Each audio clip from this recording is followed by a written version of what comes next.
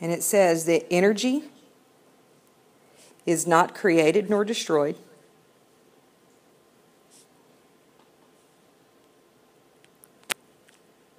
Or maybe neither created nor destroyed, but energy is just transferred from one form to another.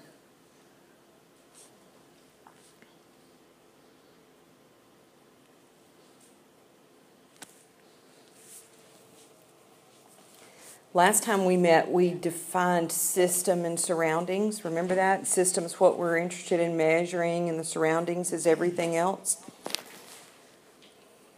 When we're dealing with energy being transferred, we use signs of positive and negative to designate the direction of the flow of energy.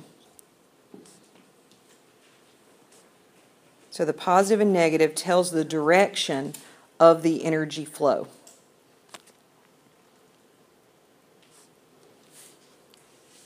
We use a positive to say something is gaining or absorbing energy.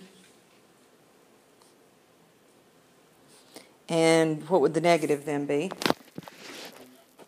Releasing energy.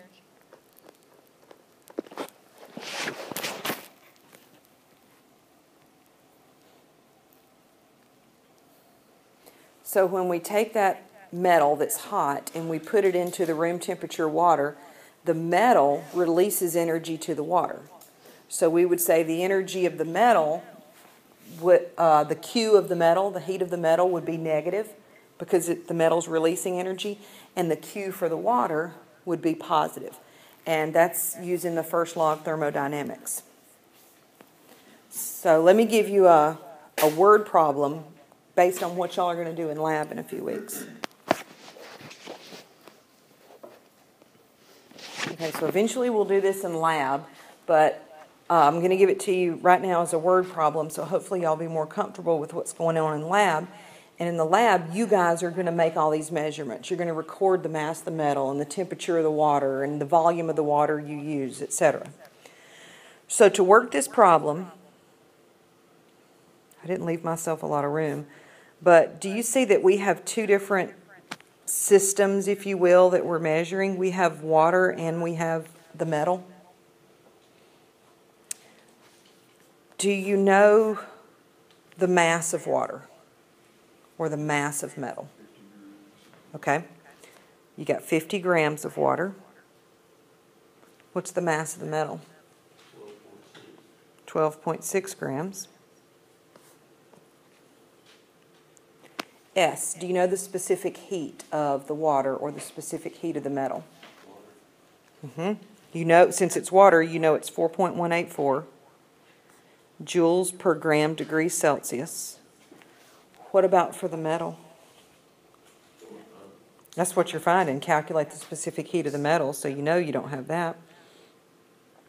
Now, what about the delta T? Look at water. Do you know its final temperature and its initial temperature?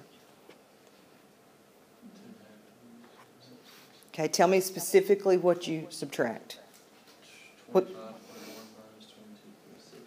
Do you see the delta T for the water is 25.1 minus 22.6? Okay? Now look, what do you subtract? What's the final temperature of the metal? Or the initial?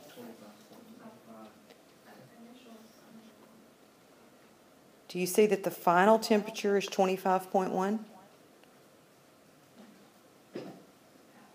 Because where is the metal? It's in the water. So the water goes up to 25.1. Don't they become the same temperature? So the final temperature of the metal is 25.1. What's the initial temperature of the metal?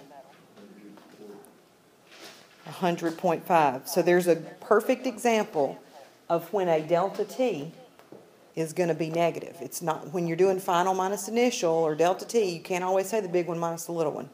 You got to know what final and know what initial are. So with all that information, guys, what can I calculate? Don't I have enough information about the water? I have MS and delta T that I can calculate Q for the water. Okay, so let's do that. What do y'all get for Q for your water? Do y'all get 523 joules? Is that what you said? Okay. Questions on that one?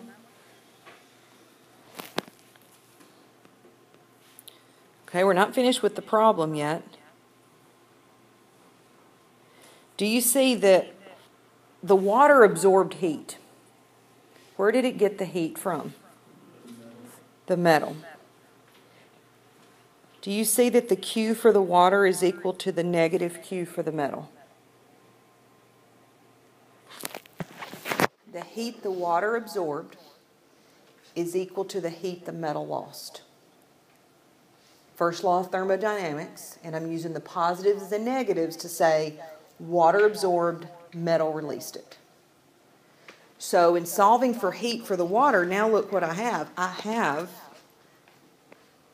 I have a Q for the metal. We can solve for specific heat. So if you rearrange Q equals ms delta T to solve for S, what's that going to look like? S is equal to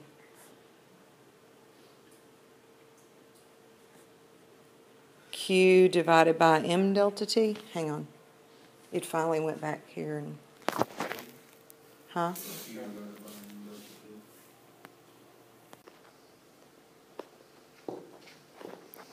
What's M?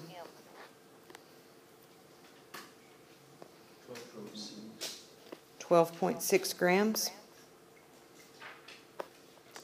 What's the delta T?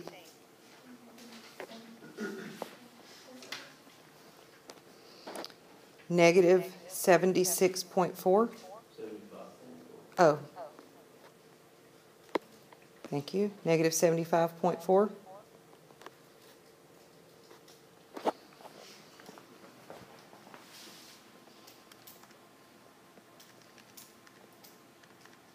What do y'all get for S?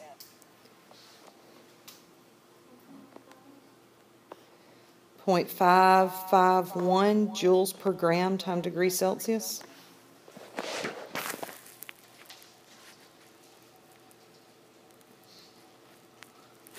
Is that what you have? Can you tell me what metal it is?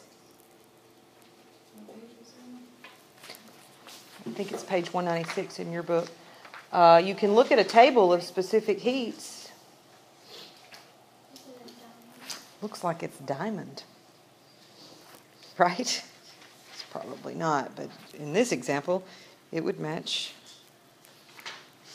diamond. And that's what you'll do in lab to identify your metal.